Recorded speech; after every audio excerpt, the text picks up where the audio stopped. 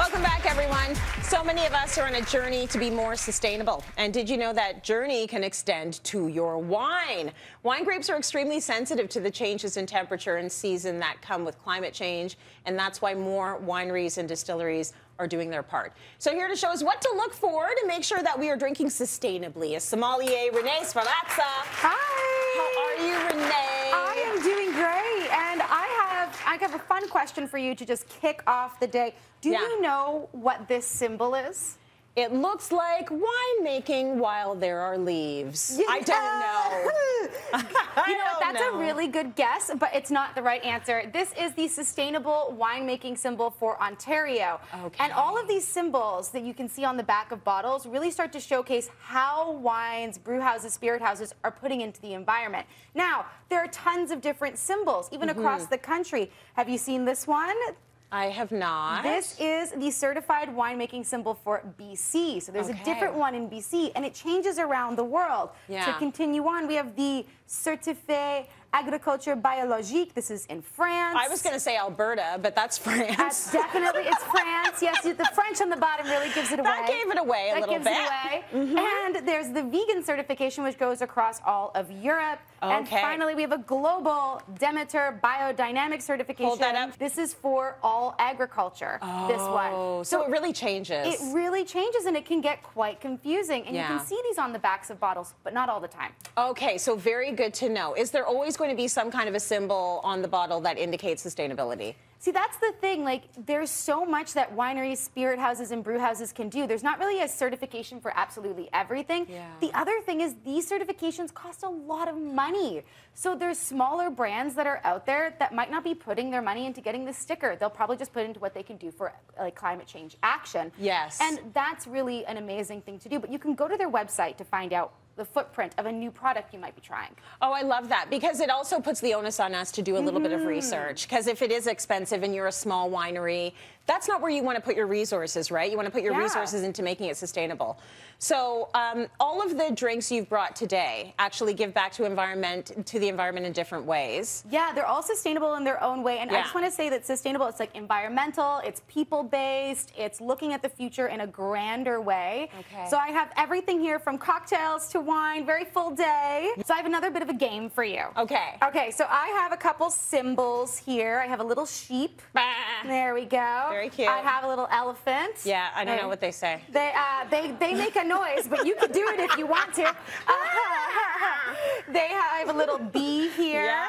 And finally, I have a water symbol. There we go. So this is for water conservation, and the sheep is for sustainability. Elephant, fairly self-explanatory. Why is the sheep for sustainability? Because I chose it, and this is my game.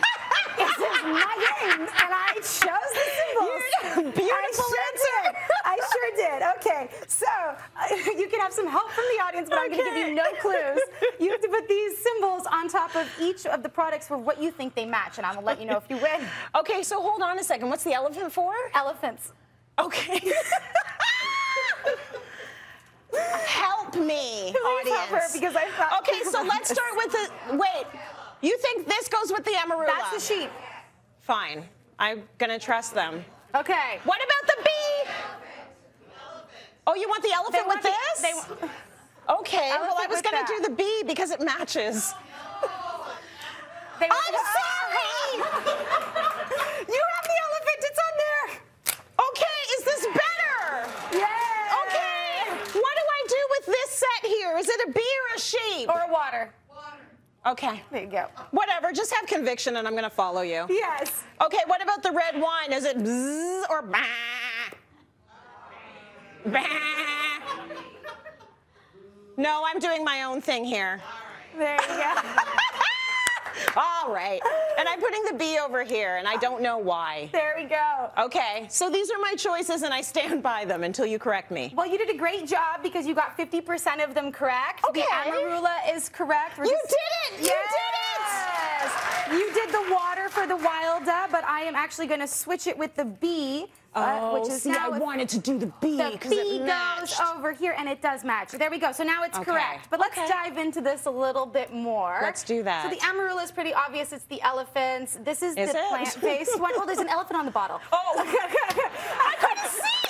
I'm so sorry. Okay. I'm I'm sorry, Okay. but uh, yeah. So it's pretty obvious that it's the elephant, but this is the Amarula plant-based. It's Uh-huh. made with coconut milk blended with the Marula fruit wine that it's made from. Now I have a cocktail here, which I'm going to let you get into. This is a matcharula. It is a chilled version of a matcha latte, great Mm. plant-based brunch cocktail. But Amarula has their famous Marula Trust. Mm-hmm. Delicious. Mm-hmm. Elephants eat oh fabulous. So elephants eat the marula fruit, and this trust safeguards all African elephants that go towards this. But they Oh. also work with the Handwork Empowerment Project Hub, Yeah. where they rate these wonderful tassels, and they're working with a co-op of businesses that are owned 100% by female black-owned businesses. And they also donate to three major organizations here in Canada. They have the Food Banks of Canada. Second hmm. Harvest, and the Canada Trees Edible Trees Foundation. So they're doing a lot. Props to you for remembering all of that and incredible work being done. This is why I like these conversations because then we get to know, you know, that these companies are more than just giving you a product. They're doing great things. Okay, over here, what have we So got? Wilda, they give to the bees. This is Yeah. a brand new product here in Ontario. It's also at liquor board stores. Uh-huh. And what they do is they make it with Ontario honey and hops. It's low sugar and gluten free. Oh. And each and every single one of these cans works with the Pollinator Project. Yeah. And every can represents 185,000 wildflowers pollinated by bees. Incredible. Yes. Incredible. Which is awesome. A little Mm-hmm. bit one of a harder one here. I'm really happy you got the sheep. This is Yeah. the Gerard Bertrand wines. I have their Languedoc Red Blend, which is a Syrah Grenache. But this is really just a glimpse into what this winery does. They're one of the largest family-owned wineries in all of France. Okay. They have over 20 different lines of wines and six different certifications across them. So Wow. organic, biodynamic, the agriculture certificate we had before. Everything is part of it. Yeah. And they're coming out with a new organic line that will be here next year. Beautiful. They range in price from affordable to collectible, but the whole thing is to give back to the earth. Nice. Okay, and last but not least. Last but not least, we have Henry Pelham Estates Winery. You wouldn't think of them as being part of water, but they actually do a lot of water conservation. They were one of the first six wineries certified as sustainable in 2017 in Yes. Ontario by the Wine Council. Yeah. And they work to protect the UNESCO World Heritage Site that their winery is on top of with wetland and woodland preservation. That's incredible, Renee. Yes, and I have a little I'll try glass for you. some. Try sure. some. This is their Cuvée Catherine and their Yeah. Baco Noir, but I figured we'd do a cheers for sustainability. Let's do it. Mm. Sustainability tastes very good, everyone. Doesn't it? Yeah. And there's even more news. Henry of Pelham is giving one lucky audience member a $100 gift certificate and a wine tasting for up to six people. And I have I have this with the names in it. So I'm going to draw and then I'm going to give you your prize. Who's going to get it? No one tried to bribe me and you should have. I'm good for the Oh, oh, so that should put you ahead. Let me see if I pick you. Is it Tracy? No, it's Donna Cook. Yay! Donna Cook! Donna, here you go. Thank you very much. Wine taste. You're gonna have a lunch with a few people. You're gonna get a beautiful $100 uh, gift certificate. How are you feeling about that? Awesome. Yes, as I said, sustainability tastes good. Let's go to break. We got more coming up, everyone.